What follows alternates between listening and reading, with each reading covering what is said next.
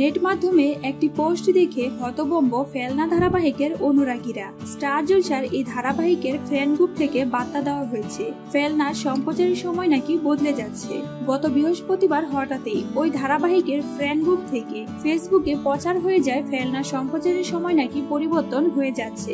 আগামী পঁচিশে জুলাই থেকে রাত সাড়ে আটটার বদলে ধারাবাহিকটি দেখানো হবে দুপুর দুটোয়। চ্যানেল কর্তৃপক্ষের তরফে এমন কোনো বার্তা না থাকায় সংশয় তৈরি হয় দর্শক মহলে। খবর ছড়াতে মন্তব্য বিভাগে উপচে পড়ছে নেট নাগরিকদের নানা মতে। সত্যি কি এই ধারাবাহিকের সম্প্রচারের সময় বদলে যাচ্ছে?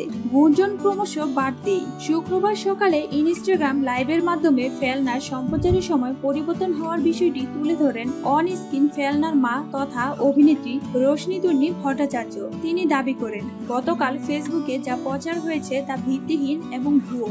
এই ধরনের ভুয়ো খবর যাতে কোনোভাবেই প্রচার না হয় তার অনুরোধ করেছেন অভিনেত্রী। পাশাপাশি সাধারণ দর্শক যাতে ভুয়ো খবর বিশ্বাস না করেন সে অনুরোধও করেছেন তিনি। রোশনির কথায়, গতকাল ফেসবুকে কেউ একজন লেখেন, আগামী পঁচিশে জুলাই থেকে ফেলনার স্লট পাল্টে, রাত সাড়ে আটটার বদলে, দুপুর দুটোর সময় হচ্ছে, হঠাৎ করে কেউ লিখে ফেললেন, তারপর প্রচুর কমেন্ট এসেছে। এটা একেবারেই ঠিক খবর নয়। যদি কখনো সময় পরিবর্তন হয়, আমরা জানাব। ওই কমেন্ট দেখে আমি রিপ্লাই করি। যিনি লিখেছেন, তিনিও রিপ্লাই করেন। কেউ একজন কোনো একটা প্রোমো দেখেছেন। তার ভিত্তিতে পোস্ট করেছেন। আমি রিপোর্ট করি। আমাদের অনেক কাজটি রিপোর্ট করেছেন। ভুয়ো তথ্যে কান দেবেন না। ভুয়ো তথ্য ছড়াবেন না। এটা ঠিক নয়।